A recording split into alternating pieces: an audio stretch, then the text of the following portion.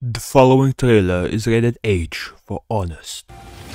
From the developers of the only successful game that they have ever made, and all they tried to make two years ago only for it to be a bloody card game, comes an actually good side game to the Summoner's War saga that you will play once you die in League of Legends and have enough time to click the Auto Battle button. Summoner's War Chronicles.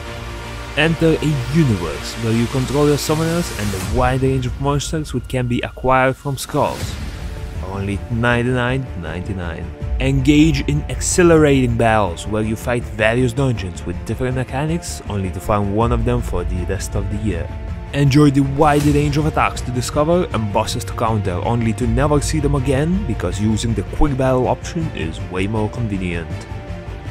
Experience real-time PvP modes which are locked 70% of the time and events that happen at 3am at night so you can't actually attend any of them.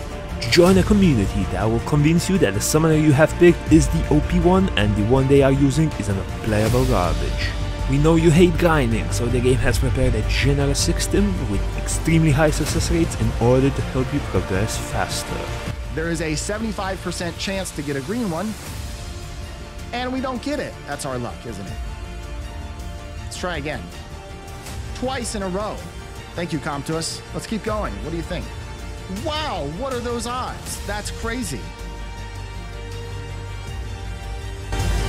Play through intense PvP combat where you are constantly nagged by the tutorial lady saying you do not have enough mana to use the skill, Not enough summoner mana. even though you clearly know this and are simply trying to use it whenever it comes up.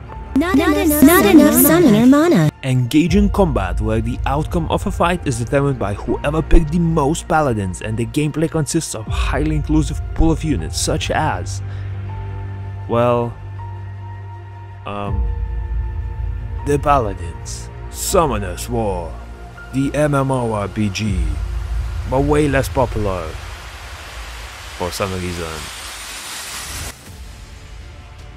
It's obviously a joke, don't cancel me, okay?